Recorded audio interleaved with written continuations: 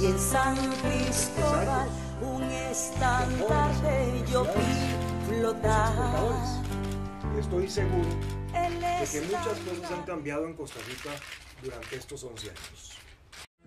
Convertimos las armas en aramos. Paz para mi gente. Hay una forma de propaganda política que se llama campaña sucia.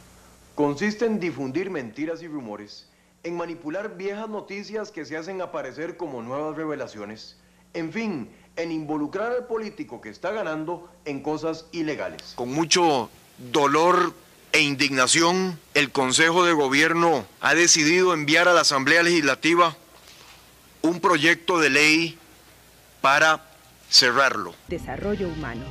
La llegada al país de la empresa Intel, cuyos beneficios apenas se empiezan a vislumbrar con el crecimiento. We're equally important to developing ourselves with the environment and with our natural habitat.